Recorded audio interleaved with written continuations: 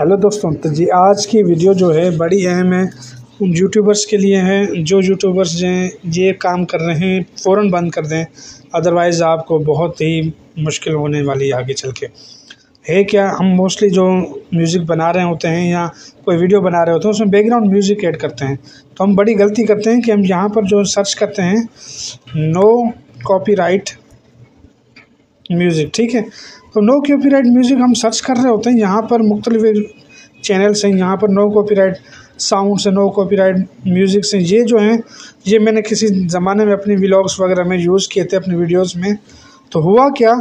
वो video use तो हो गई कॉपीराइट तो नहीं आया, लेकिन मेरी वीडियोस जो हैं, वो मोनिटाइज नहीं हुई। उसमें ये बार बार एरर आ रहा है कि वो आपकी वीडियोस जो हैं वो मोनिटाइज नहीं हो सकती। अब मेरे पास एक पुरानी व्लॉग थी, मैंने उसको ट्राई किया। मैं आपको दिखा देता हूँ, जहाँ पर जो इशू आ रहा है मेरे पास, उसमें साफ़ साफ़ लिखा हुआ आ रहा है कि वो वीडियो मोनिटाइज नहीं हो सकती। कैसे मैं आपको दिखा देता हूँ? यहाँ पर देख रहे हैं मैंने एक मॉर्निंग रूटीन की एक वीडियो डाली थी यहाँ पर जो इशू आ रहा है इन एलिजिबल है। यहाँ पर क्या आ रहा है? ये वीडियो आपकी मोनिटाइज नहीं हो सकती क्योंकि ये कॉपीराइट प्रोटेक्टेड फाउंड है। ऑनर ने अलाउ किया है यूज़ करने के लिए, पर आप इसको मोनिटाइज नहीं कर सकते। इसमें जितने भी एड्स वगैरह आएँगे, वो खुद ही कमाएगा। आप अर्न नहीं कर सकते।